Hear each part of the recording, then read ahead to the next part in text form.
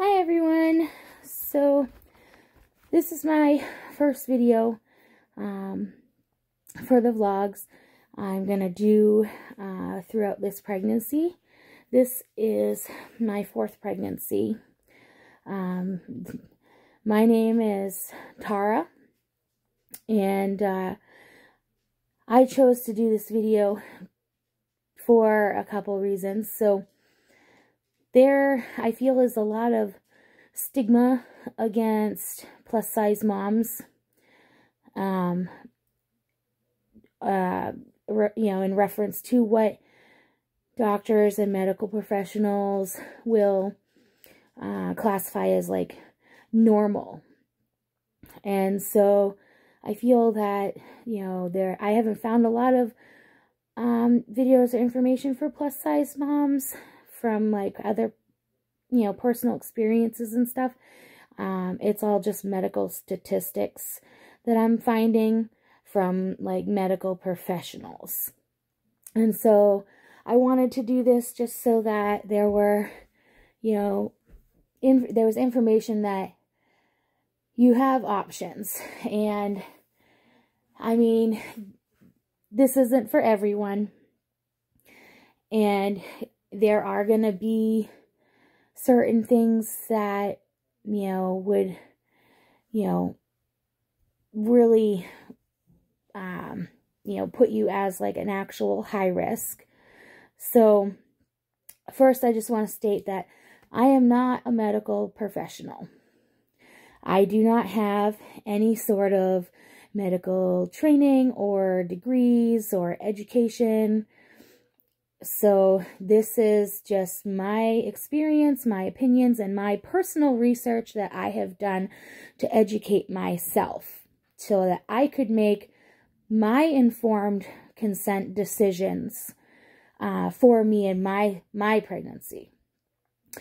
Um, I'm 35 years old, which is considered the beginning of advanced maternal age. I don't know if I really look that old. I know I don't look the greatest right now because, you know, I've just been tired and, you know, pregnancy can just, I've got three other kids. So, um, you kind of just don't sweat the small stuff when you're pregnant. And so, you know, I just kind of threw my hair up and, you know, here I am, no bra or anything like that. So, um,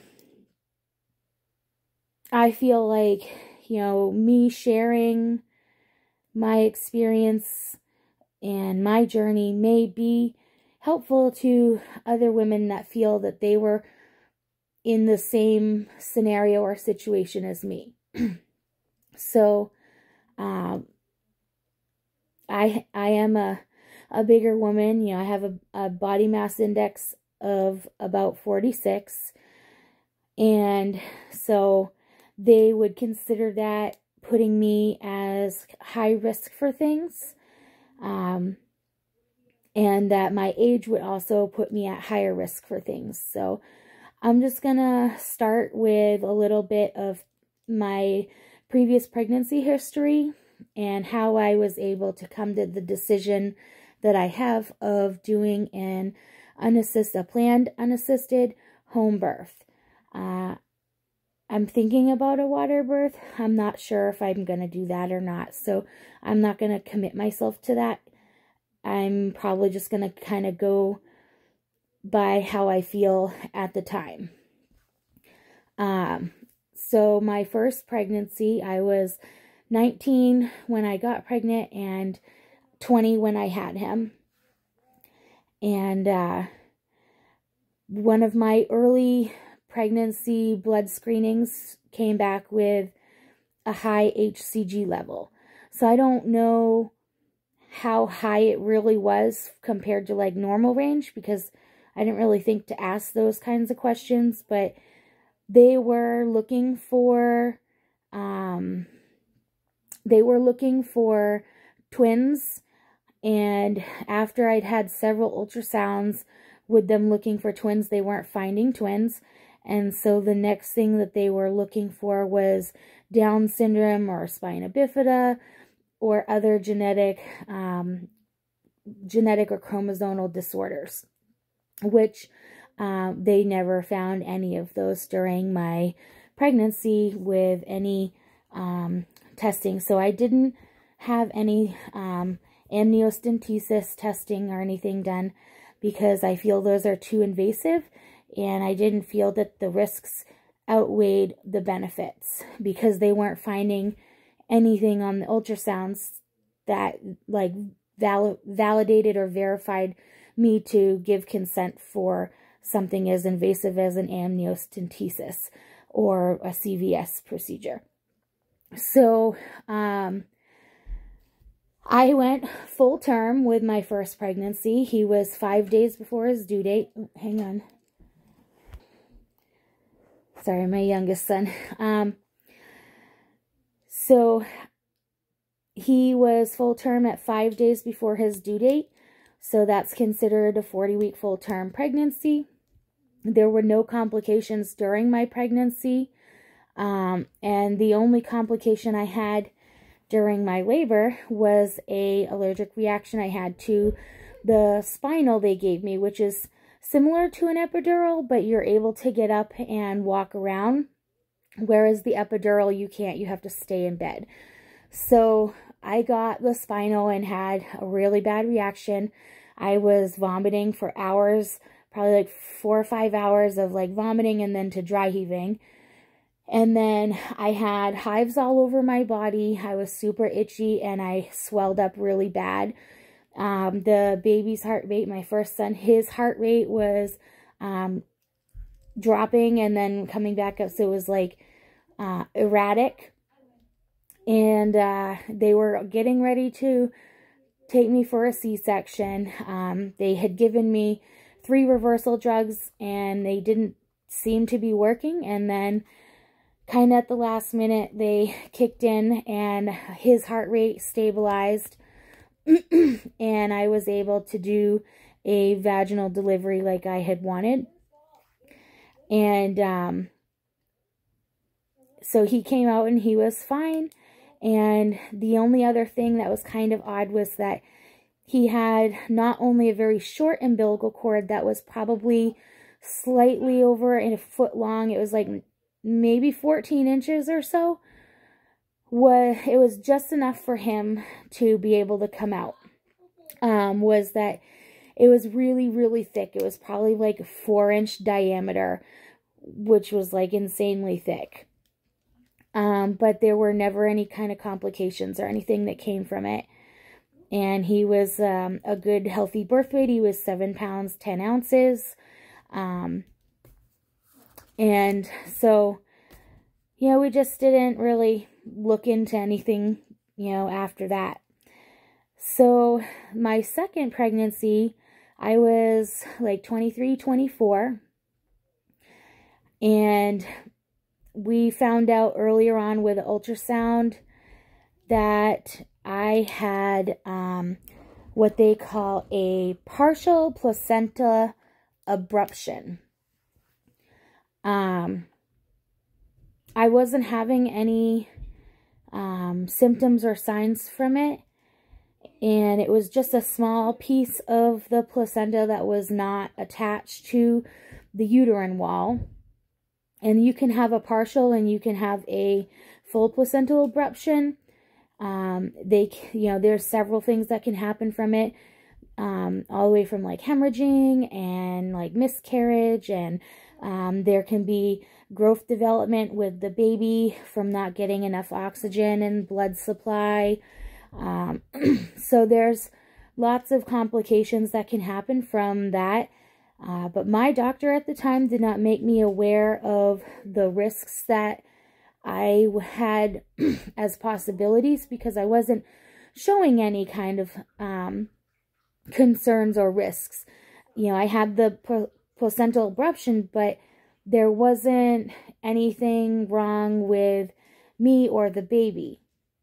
So I wasn't having any bleeding or spotting or, you know, um, there was no growth delays or, you know, development issues with the baby. He was growing normally.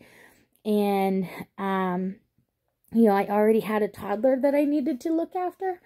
So, um, I wasn't put on bed rest or anything because there really wasn't any need for it. And he was, again, a full term baby. He was born two days before his due date. Um, that one was all natural with no pain meds, pain relief, um, because of the reaction I had for the first one, I opted to not have anything. And he also came really fast. So even if I had wanted something, there probably wouldn't have been time for them to give me anything because he came so quickly. So that was like really the only thing I found in my research um, that was probably due to the placental abruption was the really fast delivery with really rapid contractions that came on very quickly and I progressed very quickly.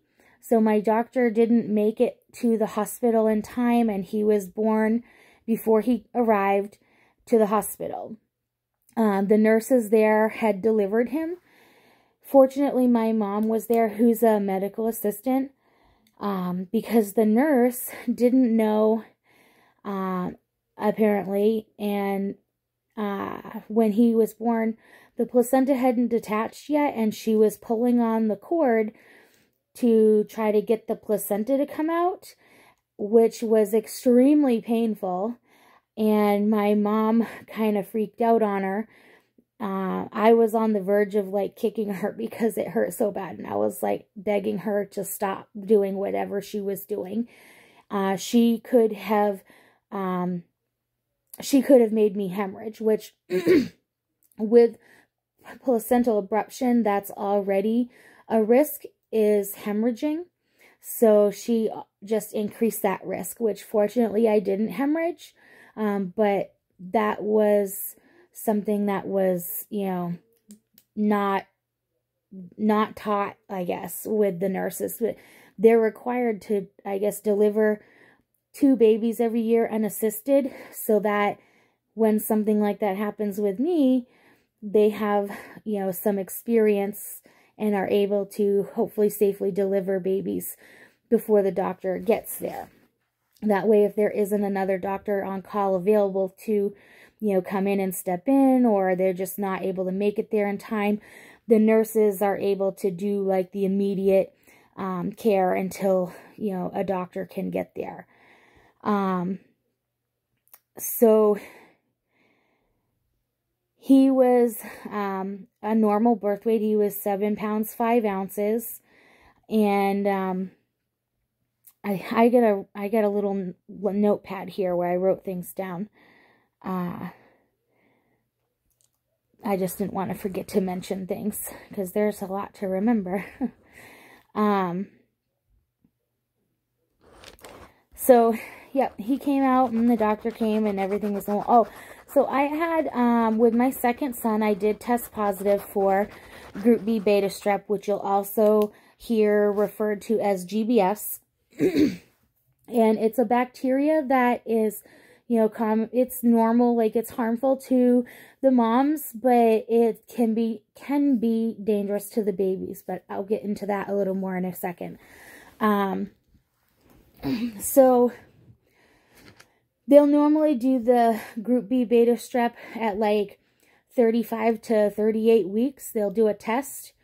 And if you test positive, they usually like to give you a um, antibiotic, um, IV antibiotic, uh, at least four hours or more before delivery. If it's given to you less than four hours, it's not effective. And you can still take the risk, it still gives the risk of passing infection to your baby when you do a vaginal birth. so, with my second son, where he came so fast, there I wasn't, I didn't receive it in time. I got it like an hour before he came out. So, he was put on IV antibiotics as soon as he was born. But again, I was really young then, and I just kind of went with what doctors and medical staff said were like protocol, like normal, you know, treatment. Excuse me.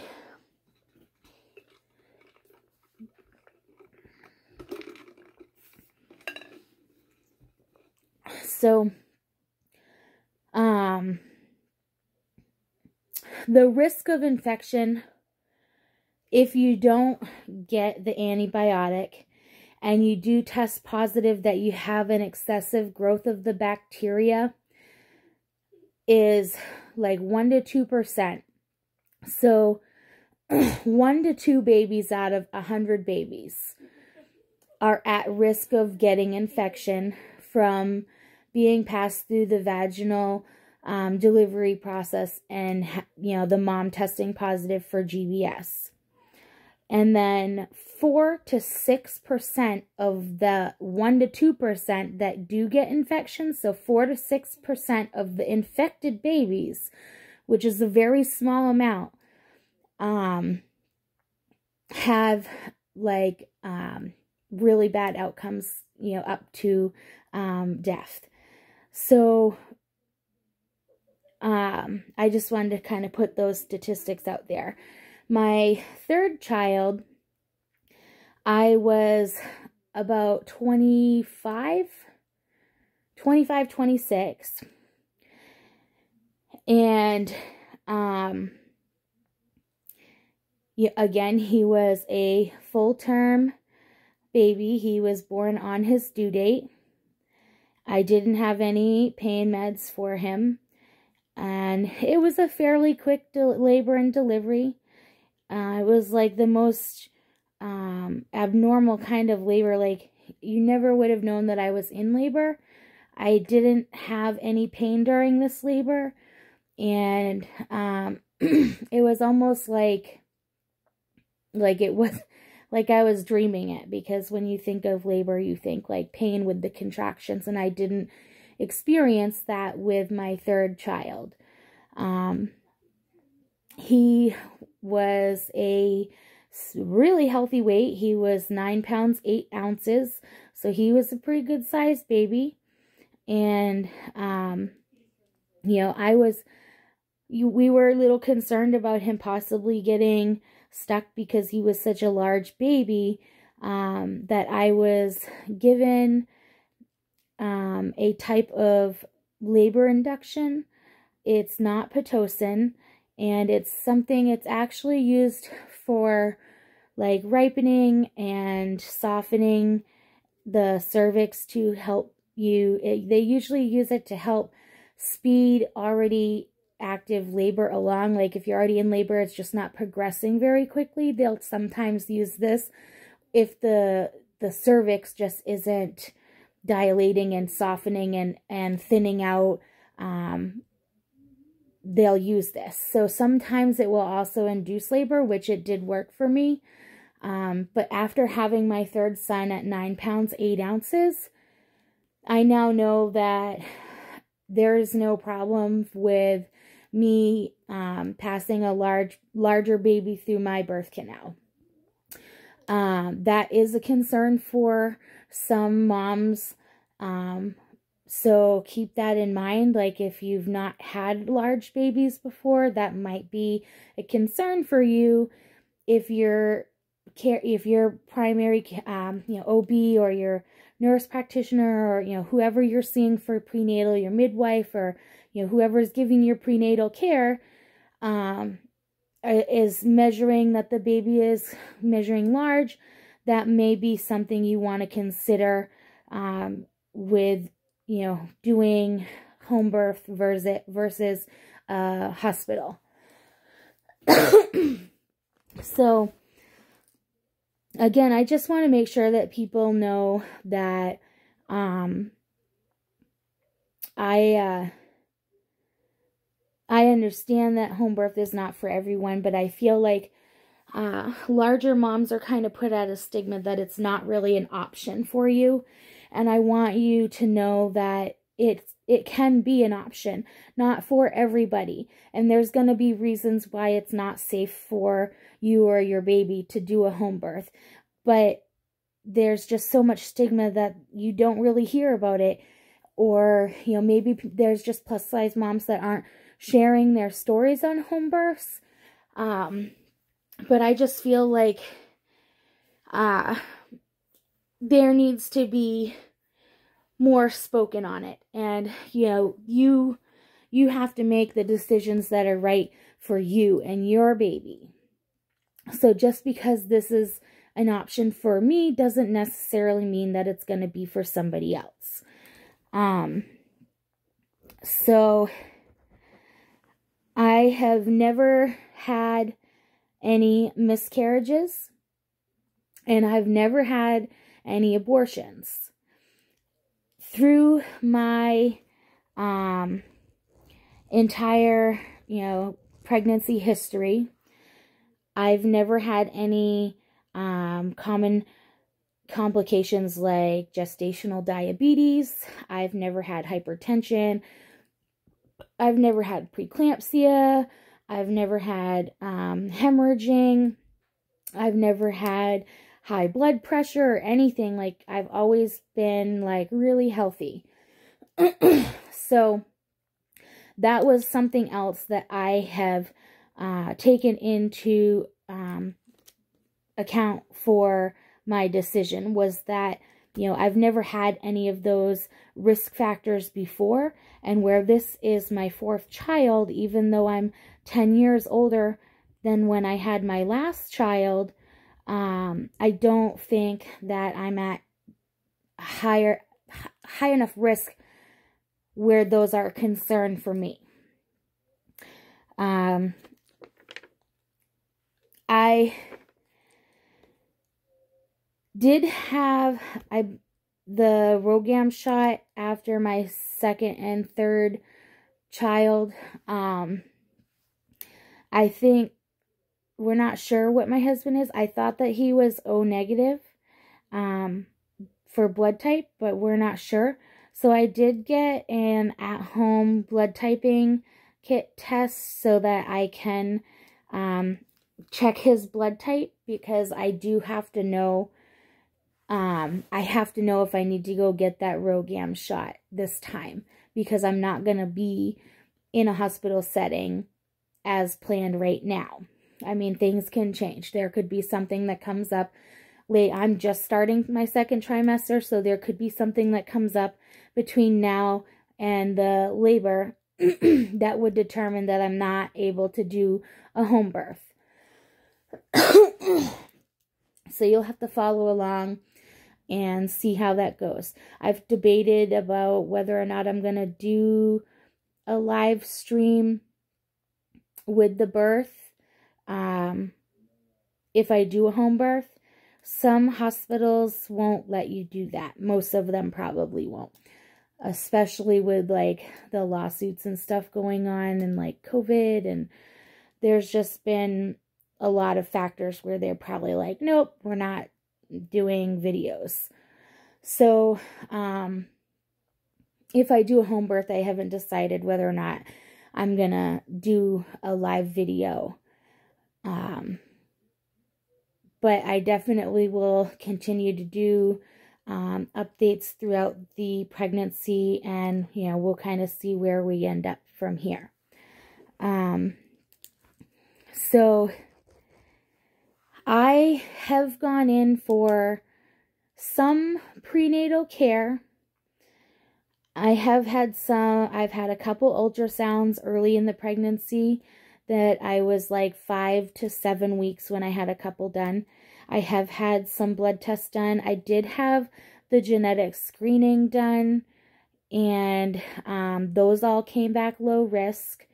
So um, all of my, you know, I've been with my husband for 15 years and, um, you know, I'm like a thousand percent sure that my husband and I have both been faithful to each other. And so, um, you know, I did do all of the, you know, STD testing, even though I knew all the answers to those testings. Um, I just agreed because it kind of puts their minds at ease knowing that information, I guess. Not that it would really matter because this isn't about them, it's about me. But um, knowing that those those tests all came back negative just kind of sets the prenatal care providers a little more at ease about my decision that I'm doing a planned unassisted home birth. Um, they did do an early glu- glucose screening uh, because of my weight. And um, normally that's not something that's done until you're into your third trimester.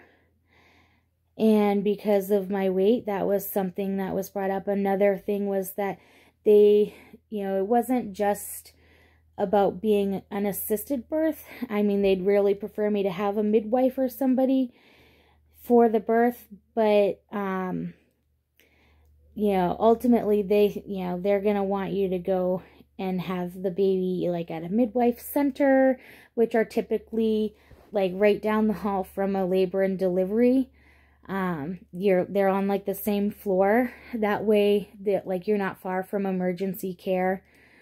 Um, so you know, obviously in, in their eyes that is what's going to be ideal.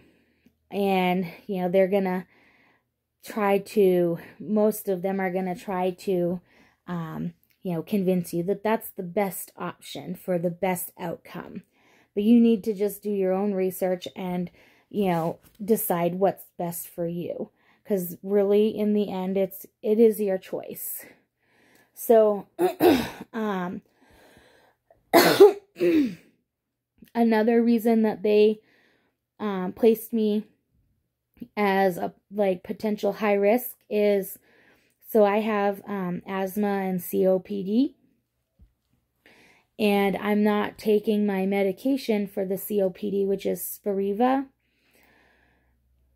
because it's not known. It's not that they're saying it's not they really don't know. There haven't been enough studies done for them to say this is a safe medication for pregnant and nursing moms.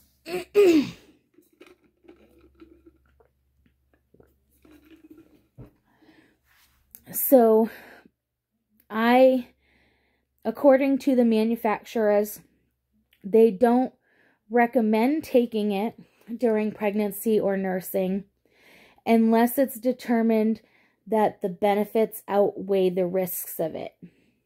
And I didn't feel that that fit for me. And so I feel that it's riskier for me to continue the medication than it is to not.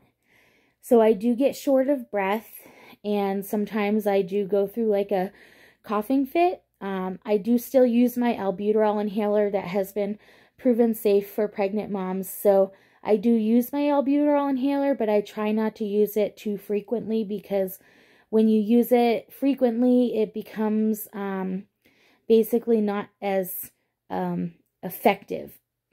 and so I want that to work when I really, really need it to work.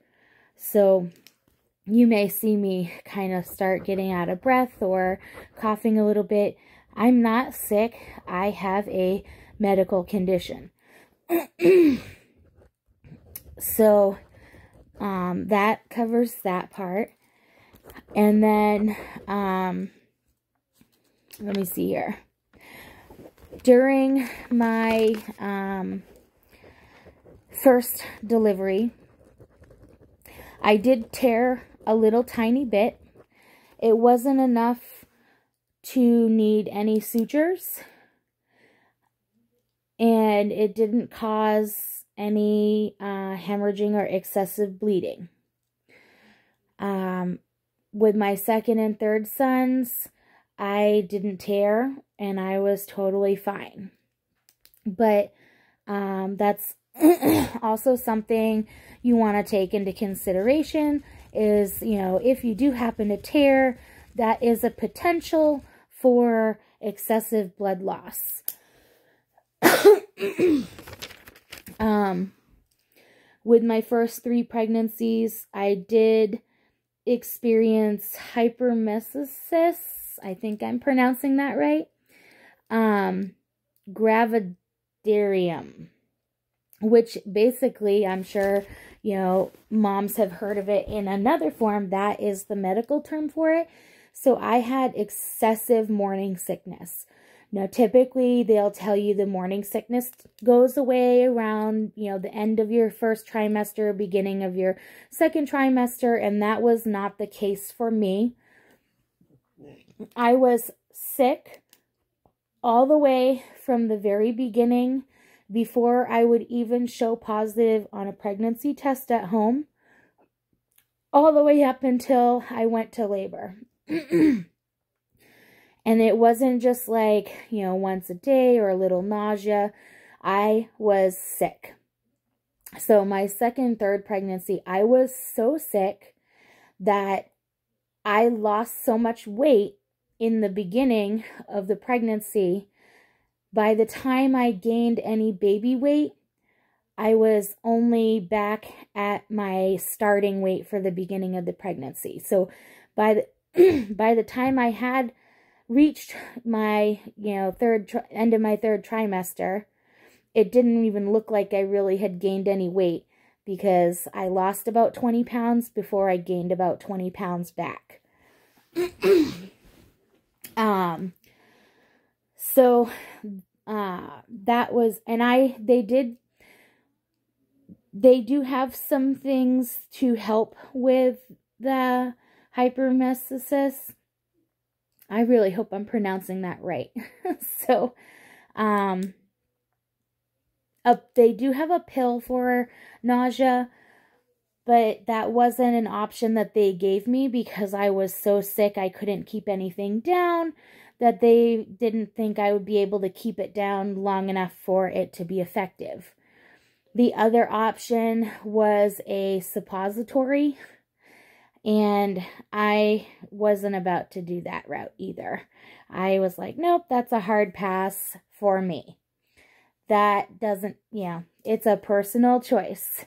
I chose to just cope and deal with the uh, morning sickness on my own terms. so, um, this pregnancy has been very different and um, I have had some morning sickness and it is getting a little better and usually I if I do get sick it's only a little tiny bit in the morning and it's not every day. But I do tend to get nauseous more frequently um and I've found that liquids stayed down easier and were easier for me to get down when I felt nauseous than solids. So like cuz sometimes they'll say, "Well, try eating like a piece of toast or some crackers or like and that just wasn't working for me. And so I did a little bit of research and I found that other moms were saying they found that the Ensure drinks were helpful for them. And they also, you know, they have lots of nutrients in them. So that's just kind of a bonus. So that's what I've been using is the Ensure drinks. And they've been um, pretty helpful for me. And uh, it seems like the, the morning sickness is a little bit fewer and, and less frequent. So I'm hoping that maybe this one will be different and it will go away for like the second and third trimester, but I'm not going to hold my breath because it didn't with any of my other three. so with um, my first three pregnancies, I did not take prenatal vitamins. And um, there's a, a common symptom with pregnancy that I'm sure people have heard mentioned is um, constipation. And I did not have that. And in fact, I had, you know, the opposite, and I call them the, the you know, probably TMI, the pregnancy poops. so, um, constipation was not an issue. And this time around, I have had a little bit of issues with that.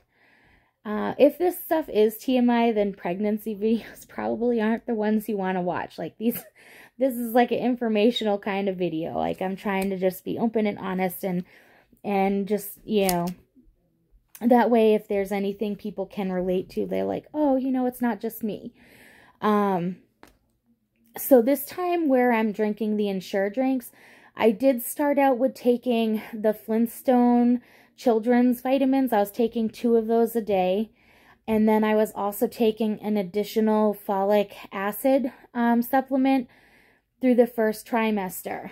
Um, so then I started, you know, I started drinking the Ensure drinks, and those have lots of vitamins and minerals in them.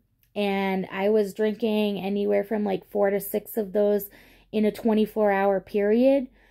and so I didn't feel that it was necessary for me to continue to take the vitamins too. And I also noticed that I was starting to get the constipation. And I am assuming uh, that that is attributed to the vitamins.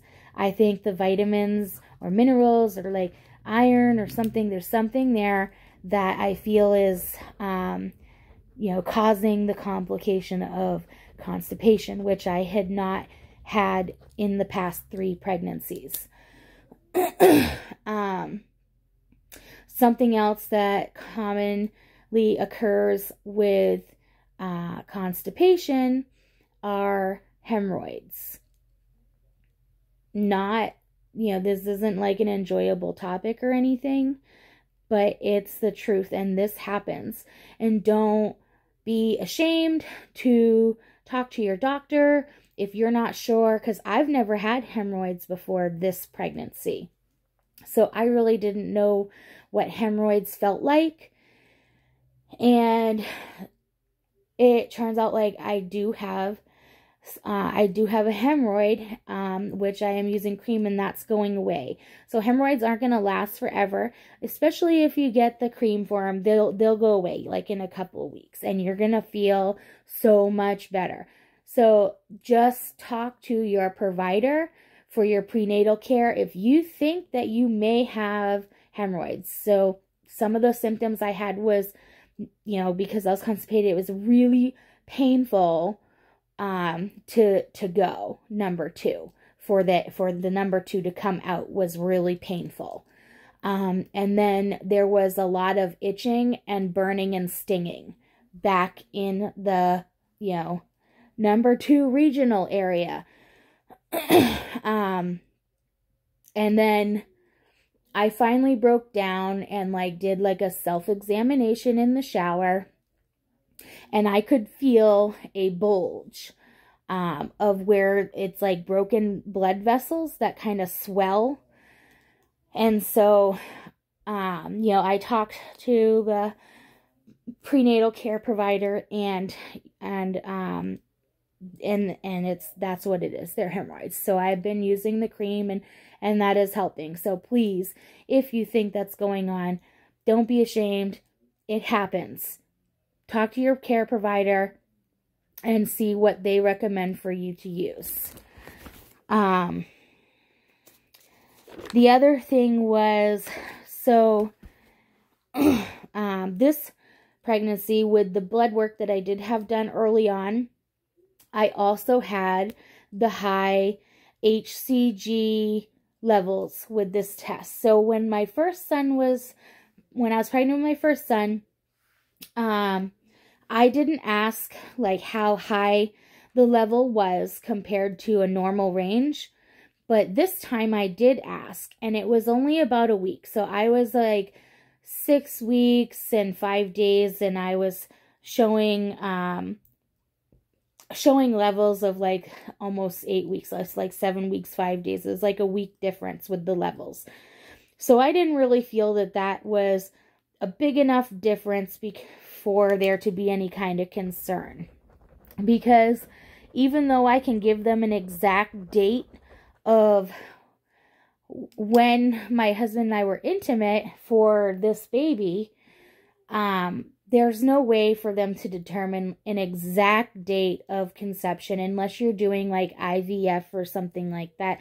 You know, if it's a natural conception, you can ovulate for like 24 to 48 hours and the sperm can live inside you for I believe up to 72 hours or something like that. Uh, you know, you may want to just double check any of these facts because I'm just kind of off the top of my head what I believe I had read. So, um, date of conception can't be exactly pinpointed with natural conception. And, um, you know, so they say like anytime, like if you, um, if you deliver like a, uh, a week before or a week after your delivery due date, that's still considered full term and like within the normal range because there's that little bit of a cushion room variant of when concep when conception actually took place. So I feel like the the 1 week is not a big enough difference for there to be any concern with that high HCG level cuz I didn't really think that that's I, I'm surprised they were considering that high and I almost feel like they're just looking for reasons to um to like label me as high risk. So I bet I was turned away from a couple places because I was considered high risk and I'm like I'm um uh pretty adamant on like my decisions. And so maybe they didn't like that I was like standing my ground with the decisions that I'm making and that I'm not basically handing over the reins to them.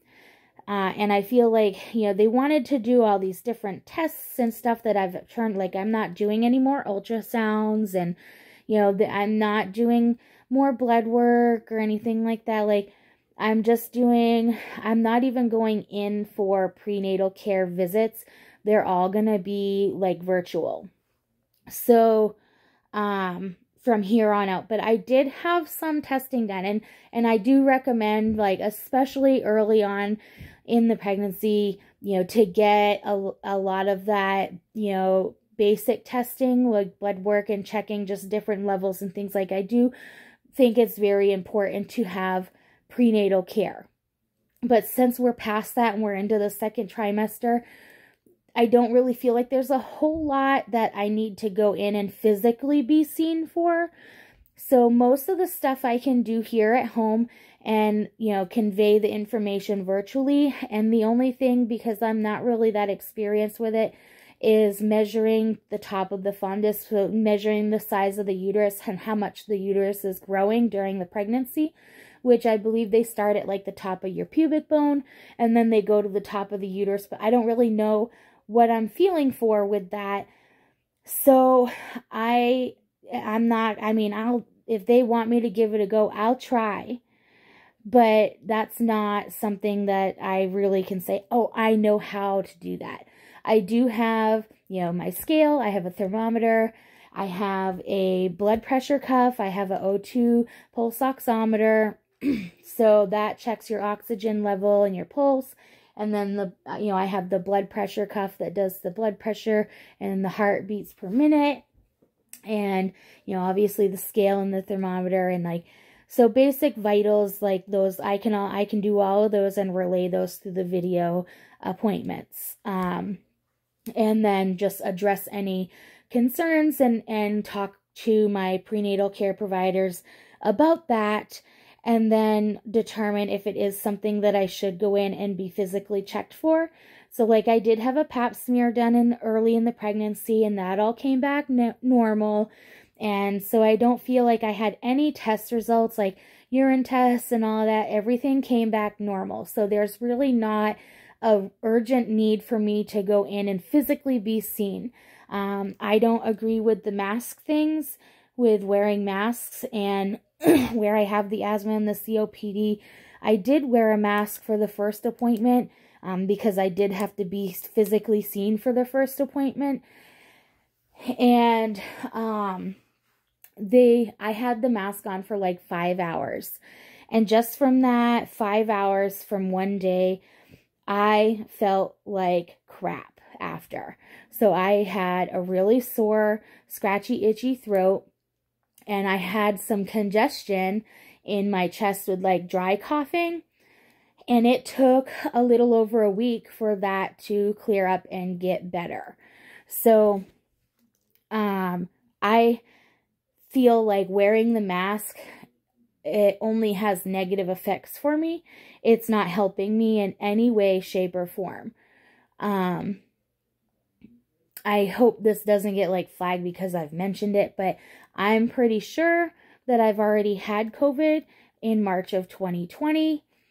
I did not go get tested because I don't want to be part of those statistics. The, you know, I don't believe all these numbers are um like legitimate tests and COVID numbers and stuff. I feel like some of them have kind of been fudged or falsified a little bit. And so I didn't want to be part of that. But I had all the symptoms of what they were claiming to look for for COVID. And it was the sickest that I had ever been in my entire life. And the peak of it lasted for probably about 10 days. I did have an extremely high fever. It was like 103, 104 for like four or five days. I lost 10 pounds in a week. I was really sick. I couldn't keep anything down. I had extreme chest congestion. Like I was coughing and coughing. Like I couldn't even roll over in my bed without going into like an extreme coughing fit.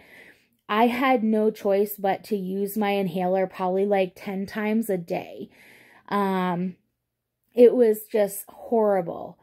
And so the peak was like probably about 10 days maybe, but I was still like sick in my chest and coughing um, for probably a little over a month. And uh, I couldn't eat any food, so I don't know if my taste was affected, but my smell definitely was. And again, like all that went away, and I got over, and like nobody else in my house got sick except for my second son. And he had like really, really mild, like cold like symptoms for like 48 hours. He wasn't throwing up, but he did complain that his tummy was a little upset and he was running a low grade fever. I think it was like under 101 and um it was like a 100 point something. And then he had a little bit of congestion and it cleared up within like 2 days. So he was the only one that got sick out of me, my husband, our three children and my mother. So, and my husband slept next to me every night, you know, and he didn't get sick. So I'm pretty sure that I already had it. And so I'm not vaccinated for it. I don't plan to get vaccinated. I did have a couple places that were trying to encourage me to get the vaccine during pregnancy. Again, I don't agree with that. Um, lots of vaccines are determined not to be safe for pregnant women and I don't think that this one would be any different. Uh, and even if I wasn't pregnant, I still wouldn't get it. I don't feel that I'm a high risk for it um, as far as it being life threatening or anything. So, um, you know, that was another thing. It's like, I just, I'm not, I'm not going to wear a mask and I'm not going to get vaccinated. So, moving on from that, you know, those are personal choices. Um, I don't, you know, I'm, you know, I don't try to discourage anybody that wants to get it or wants to wear a mask. That is a personal choice. And if, you know, that's what you want and that makes you feel safer, makes you feel better, then I say do it. Because if that was what made me feel safer, I would do it, but it doesn't. So I feel like there were a lot of places that, you know, I went to and I was turned away or ended up continuing to look for a different prenatal care provider um, because they all want to do all these different tests and stuff and, and they're looking for a reason for my um, body weight and my age to be a risk factor. and they're just not finding anything like that. So there, you know, I don't have any of those. So the the other thing that I probably um the only thing that I probably will go in for if I need it would be the RhoGAM shot. And I, um, you know, I've already expressed my feelings that it's not going to be like a regular appointment. Like just schedule a, a small little time block. I'll put the mask on, come in, then give me the shot, and I'll leave. Like there, I'm not going to sit there to be monitored by, you know, anyone for it, you know, reactions or anything. If I think I'm having a reaction, then I'll come back or go to the emergency or something. But other than that, like I just want to go in, get it, and get out. Like I don't want to be sitting in there wearing this mask for any longer than I have to because they they make me feel like crap. so that is I think I've gotten to everything. Uh, I'm going to leave like the comments open on this video, but um, like if I do do the um, live stream or whatever for the delivery, uh, I probably will shut the comments off on that. Um, I have pretty tough skin, so even if there are people out there that want to say mean negative things, like, it's like, no sweat off of my shoulders. I just move on. There isn't anything that you can say that's going to hurt my feelings or, you know, is going to get to me and bother me and and affect my daily life because it's my life, not yours. So, um, what you think of my opinions or my feelings or my choices is really irrelevant. And I just want to put this information out there for the people that are interested and do want um, some information from somebody else that may be kind of like them. So, um, the next video, I'll I have an appointment, a virtual appointment. Oh, um, so for uh, before I forget, for um gestational diabetes, normally when they test for that, you would go in and um, you would have a blood draw, drink, you have five, and then you get five minutes to drink a glucose drink, which is like a sugar drink. And then as soon as you're done drinking that glucose drink, they'll time it. And exactly an hour later, they will do another blood draw. And that is normally how they check for gestational diabetes. And that's probably the most accurate way, which is why they do that test that way. But because I'm not willing to go sit and wear a mask for an hour or like really at all, I don't want to. Uh, the RhoGAM shot, like there's no, I can't get that. Like there's no way for me to get it and have it injected here at home. So, um, that's really the only thing like I'd have to go in for. Uh, but I am not going in for the gestational diabetes. I don't think it's going to be an issue for me, but what I am going to be doing is instead I'm going to be using a glucose monitor and test strips. Uh, and these they're called lancets. So it's the it's what diabetics do. So they would just do a finger prick and they put the blood on the test strips in the meter and it will give you a reading of your um, glucose blood sugars. And so what you do, I'll be doing that four times a day for two weeks once I'm into my th third trimester. And if I have like one or two, you know, occasional high readings, that's going to be expected because of diet. And you know it all depends on what you eat on you know what your blood sugars are going to be. I really don't i know that people are going to be like yeah yeah yeah she's so full of shit. But i really don't eat um, that unhealthy i'm actually a pretty healthy eater i don't really eat a lot of um, sugars i'm gonna have to wrap this up because i gotta go to the bathroom so bad i gotta pee um, so they I don't really eat like processed sugars and stuff a lot. I mean, everybody does. I'm not going to lie. I do eat, you know, a candy or, you know, like a cupcake or something, but not frequently. And I'm actually, I really don't like sugary foods that much. Like, I have to really be in a mood for it. Um, like, my friend makes the most delicious gingerbread cookies for Christmas and she sends them, you know, she'll send one for me and one for each of my kids and one for my husband.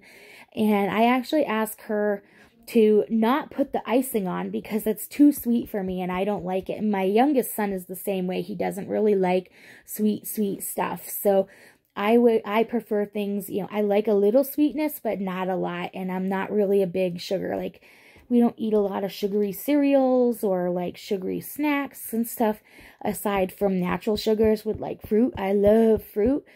Um, and so that's probably my biggest sugar intake is natural sugars with like bananas and melons and strawberries and blueberries. And yeah, I am getting a lot of sugar from those, but they're natural sugars. It's easier for the body to process them and I um I'm also getting a lot of other benefits from the um, from the natural fruit, like antioxidants and vitamins and minerals. So right now my sugar intake probably has been a little bit higher because I looked at the Ensure drinks and they do have, I think it was like nine grams of sugar, and that's a lot. Um, that's a lot more than what I would normally be consuming. Um, so I did get a little bit concerned about the amount of sugar that I am taking in with the Ensure drinks, but they help. And so I'm not really eating a lot of solid foods. I do eat some, but I'm not eating a lot of solid foods. And so I feel like it's not enough that my body is going to like not be able to handle processing the sugars. Um, so my like my A1Cs when they when they did the tests for those with the blood, my A1C was like great. It was like a really good normal range. So um I do um I was using uh, ginger ale a little bit for nausea and when I started drinking the Ensure drinks, I gave up the ginger ale because they both have sugar and I was like, well, if I'm to have sugar, I better pick one or the other. And so, where the Ensure drinks seemed to be helping with the nausea and the morning sickness more than the ginger ale, I decided to get rid of the ginger ale and use the Ensure drinks. If you do have nausea, there are uh, morning sickness, there's lots of different natural remedy options out there. I've tried a bunch. I didn't try the bands. So there's like a band that you can wear on your wrist. Um, I did not try those, but I've heard good things about them that they worked. But what I did try, I tried the lozenges, which are kind of like the lollipops, and they didn't, they weren't real effective. I got the gum. I got it at Walgreens, and I got the gum. It's this ginger gum, and it's like the most expensive gum ever. You get 20 pieces, and it's like 12 $13. Um, but it did work but it didn't last long. So I would chew a piece of gum and it would only help for about 10 minutes maybe, and then the nausea would come back. So it did help, but only for a very brief period of time. The Ensures seemed to help hold me over longer. And so um, I don't even eat the gum now. Like I've just kind of stuck with the Ensure drinks. Uh, I if you do do Ensure drinks, don't get the Ensure Plus because those go with like the high protein. That one has the least amount of sugar. The high protein has lots of protein in it and still has the vitamin and minerals, but the high protein only has like depending on the flavor you get, I think it's like 1 to 4 grams of sugar. And then the original has like 9 or 10 grams of sugar depending on the flavor, but the Ensure Plus is like 20 grams of sugar for one 8 ounce shake. Don't get that. That is too much sugar, even if you aren't pregnant. I can't believe that they have a drink for like nutritional purposes with that much sugar. It's crazy. That is too much sugar. Um, so yeah, I'm going to wrap this up, but uh, I'll probably do, you know, depending on how the visit goes, I have like, uh, I think two weeks and I'll be doing a virtual visit. Uh, so today's the 13th. So yeah, I think it's like a little less than two weeks. I may do a video after that. I'm not sure. We'll see how it goes. Um, and I do still have like all my uh, home birthing supplies coming. So I didn't order like a kit that was already kind of like bundled.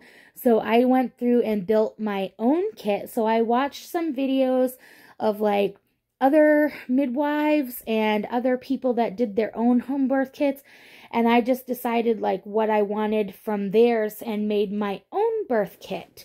Um, so I'll go over all that stuff. Hopefully the next video all the stuff will be in by then. So I think I have probably about half of it. Um, and I'll go over like where I got those supplies and um, why I got them. So my birth kit for at home birth is probably a little bit excessive compared to the videos that I watch, but I like to be prepared. Like I would rather have it and not use it than need it and not have it. So um, I have quite a large home birthing kit that I've put together. Um, and you know by then I'll be able to kind of like tally up like what it costs for me to uh, put that kit together and you know you can shop around and maybe find other places that may have these items cheaper for you but um, I do kind of look forward to that and going over and sharing that information because I feel that, you know, I have very good reasons for why I have all the items that I picked for the birthing kit. Um, things are probably going to be a little hectic. You know, we've got um, Halloween around the corner. So my second son was born on Halloween, so he'll be turning 12.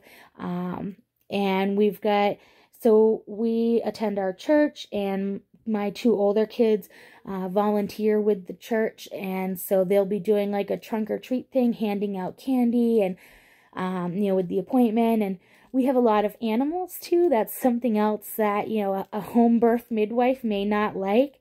Um, so we have a lot of animals. We love animals here. So we have two horses and a donkey, which obviously aren't in the house.